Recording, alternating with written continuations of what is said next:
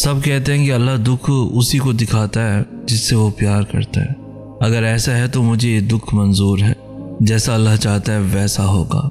जैसा तू चाहता है ना अल्लाह, उसी में राज़ी हूँ मैं। जैसा तूने मेरे लिए सोचा है, उसी में खुश रहूँगा या अल्लाह। मैं वादा तो नहीं कर सकता या अल्लाह, लेकिन मैं कोशिश करूँगा।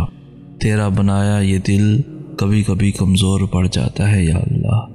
इसलिए मैं हमेशा कोशिश करता रहूँगा अपने गमों में मुस्कुराने की। हाँ रोना तो आता है, रो लूँगा। लेकिन तुझे नाराज़ नहीं करूँगा, या अल्लाह। तुझसे शिकवा नहीं करूँगा, या अल्लाह। उसकी रोती आवाज़ में ज़माने भर का सुकून दर आया था। जब हर चीज़ उलझ गई हो, हर चीज़ अपनी जगह से बिखर गई हो, समेटने से भी ना सिमटे, तुमसे तो उन चीज़ों को वही छोड़ देना चाहिए। और जब तुम अपनी दुआओं में शिद्दत इख्तियार करोगे तो हर चीज़ सिमटने लगेगी। वो चीज़ बिखरने के लिए आई ही इसी वजह से थी कि तुम इस उलझन में रब से दुआ का रिश्ता बनाओ। ऐसा नहीं कि कुछ भी हालात बिगड़ने पर हम वक्त के गुजरने का बैठ कर इंतज़ार करें। जब हम कुछ नहीं कर सकते, तब हम दुआ ही तो करते हैं, सब्र ही तो करते हैं। सुबह के चार बज रहे थे। वो तहजद पढ़ चुका था और अब वो अपने रब से दुआ कर रहा था, या अल्लाह, मैं तना हूँ, मेरी मदद कर मेरे रब। मुझे ऐसा लग रहा है कि मैं किसी गहरे, काले समंदर में फंस चुका हूँ। मेरे इर्द गिर्द सिर्फ़ अंधेरा है। मुझे सिर्फ़ इस समंदर की तेज़ लहरें सुनाई दे रही हैं। या अल्लाह, मैं डर रहा हूँ। मुझे खौफ है ये लहरें मुझे डबो देंगी, मगर मेरा ये डर मेरे तुझ पर यकीन से बरा नहीं है। मैं तुझसे नाउमीद नहीं हूँ, मैं जानता हूँ, तू मुझे इस समंदर से निकालेगा या रब। मेरा बस तू ही सहारा है मेरे मालिक, मेरी मदद कर। वो रोता हुआ सजदे में गिर गया, और उसकी सिस्कियाँ बता रही थी कि उसकी दुआ अर्श तक पहुँच गई है। जब रबता अर्श के मालिक से है, फिर खुद को मायूस नहीं किया करते। उसे जब मर्ज़ी बात कर लिया करते हैं। जब उसे हिम्मत मांगी जाए, उसे सब्र मांगा जाए। वो जानता है, मेरा बंदा मांग रहा है मुझसे। मेरे अलावा और कौन देगा?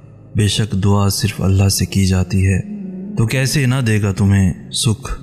कैसे छोड़ देगा तनहा तुमको? जब कोई नहीं होता तब सिर्फ़ अल्लाह ही तो होता है।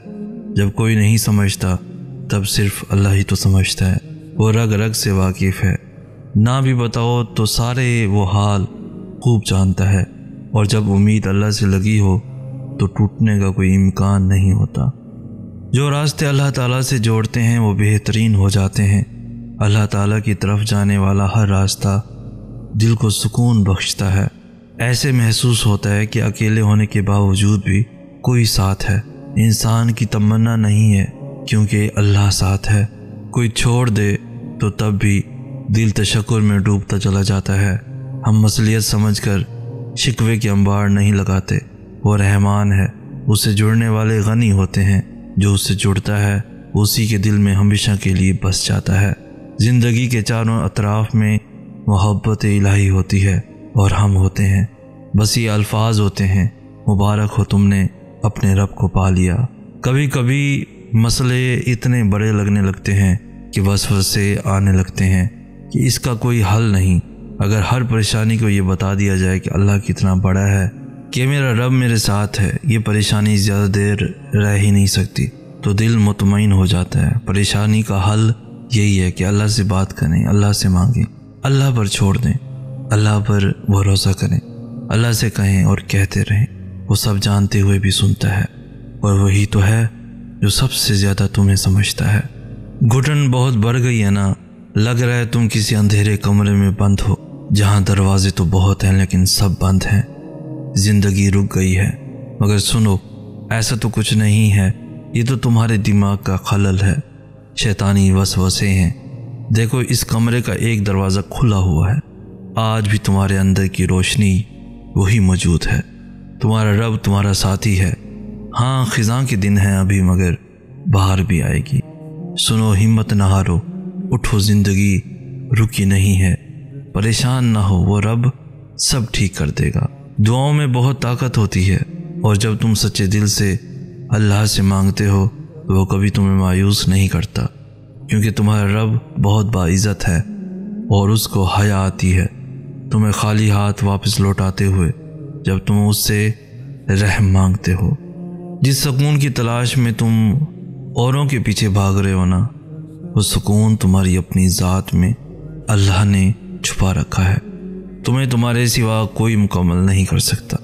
तुम खुद अपनी ज़ात की तकमील हो और जिस रोज़ तुम खुद को ढूंढ लोगे, उस रोज़ तुम्हें अल्लाह मिल जाएगा। अल्लाह जानता है कि तुम्हारी चाहत को कब और कैसे तुम तक पहुंचाना है। तुम्हें बस तवक्ल रखना है कि अगर वो एक सितारा तुम्हें नहीं मिल सका, जो तुमने मांग रखा था तो मुमकिन है अल्लाह ने पूरा आसमान तुम्हारे लिए लिख रखा हो। तुम्हें यूँ हर बार यकीन आ जाना, तुम्हारे दिल में हर बार उम्मीद का आ जाना, और फिर तुम्हारा दुआएँ मांगना इस बात की दलील है कि अल्लाह के दर से मदद जल्दी तुम तक पहुंचेगी, मौजात की सूरत में।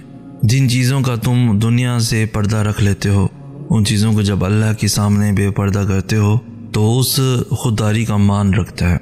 जो बातें तुम किसी को नहीं बता पाते, वो बातें जब अल्लाह को बताते हो तो वो खुश होता है कि जो तुमने किसी से नहीं कहा, वो उससे बिला झिझक कह दिया। क्या पता तुम्हारी रज़ा तुम तक पहुँचाने के लिए ही अल्लाह तुम्हें अपनी रज़ा से गुजार रहा हो। तो यकीन रखो, दुआएँ कभी रायगा नहीं जाती।